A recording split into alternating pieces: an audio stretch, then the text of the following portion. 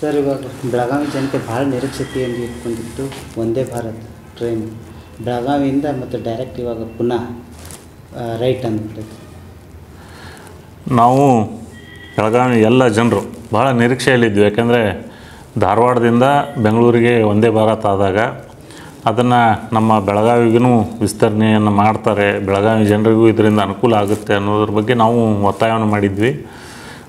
ಆದರೆ ರೈಲ್ವೆ ಇಲಾಖೆಯವರು ಯಾವುದೇ ಟೆಕ್ನಿಕಲ್ ಕಾರಣಗಳನ್ನು ಹೇಳ್ತಾ ಅದನ್ನು ನಿರಾಕರಿಸಿದರು.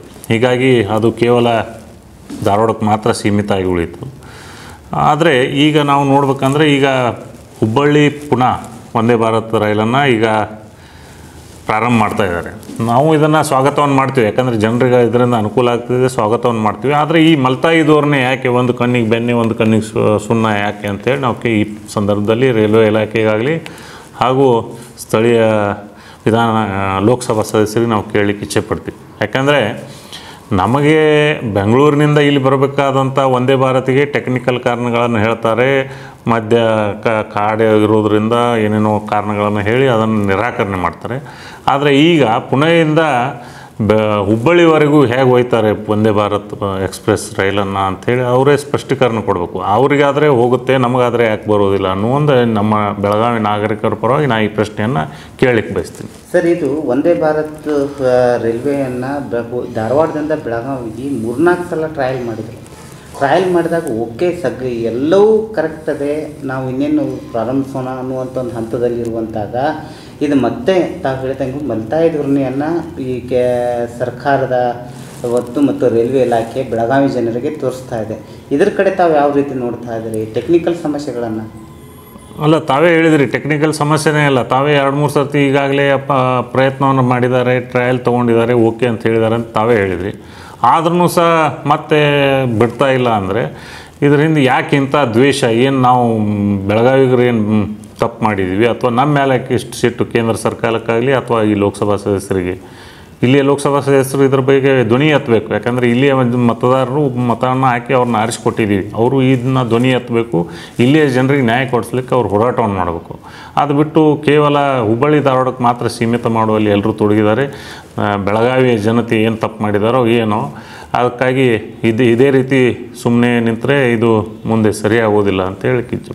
ಸರ್ ಇದ್ರ ಹಿಂದೂ ರಾಜಕೀಯ ಅಡಿಗಿದೆ ಅನ್ನೋದು ಒಂದು ದಟ್ಟವಾದ ವದಂತಿನೂ ಅದೇ ಮತ್ತು ಇದರಂಥ ಒಂದು ಸತ್ಯಾಸತ್ಯತೆಗಳ ಪರಿಶೀಲನೆ ಮಾಡಿದಾಗ ಇದ್ರ ಕಡೆ ತಾ ಒಂದು ರೀತಿಯಿಂದ ಒಂದು ರಾಜಕೀಯ ಹುನ್ನಾರನೂ ಇದರಲ್ಲಿ ನಡೀತಾ ಇದೆ ಅನ್ನೋದನ್ನು ಒಂದು ಕೇಳಿ ಬರ್ತಾ ಇದೆ. ಸರ್, ತಾವು ಇದಕ್ಕೆ ಯಾವ ರೀತಿ ನೋಡುತ್ತೆ ಇಲ್ಲ, ನೋಡಿ, ರಾಜಕಾರಣ ಬೇರೆ, ಅಭಿವೃದ್ಧಿ ಬೇರೆ.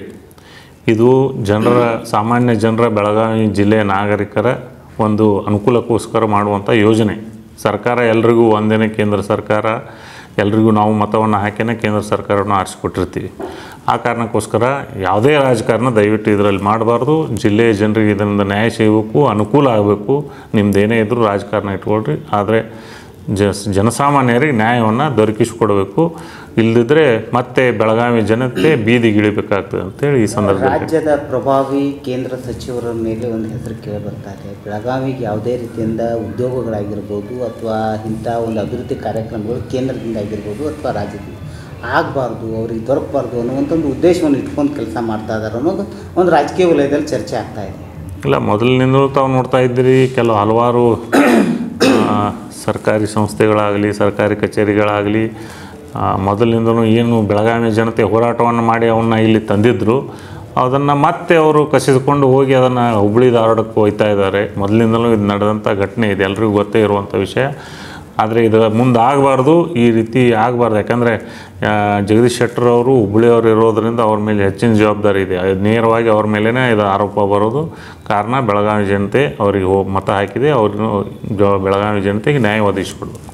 ಸ್ವಲ್ಪ ಚುನಾವಣೆ ಸಂದರ್ಭದಲ್ಲಿ ಜಗದೀಶ್ ಶೆಟ್ಟರ್ ಅವರು ಹೇಳಿದರು, ಬೆಳಗಾವಿ ಜನತೆಗೋಸ್ಕರ ನಾನು ಏನು, ಯಾವ ಹಂತಕ್ಕಾದರೂ ಹೋಗಿ ನಾನು ಪ್ರಯತ್ನ ಮಾಡ್ತೀನಿ. ಆದರೂ ಕೂಡ ಅವರು ಈ ಪ್ರಯತ್ನದಲ್ಲಿ ವಿಫಲರಾದ್ರ, ಮೊದಲನೇ ಹೆಜ್ಜೆನೇ ಅವ್ರದ್ದು ಎಳೆಯು, ಎಲ್ಲಾದರೂ ಎಳೆಯೋದ್ರ?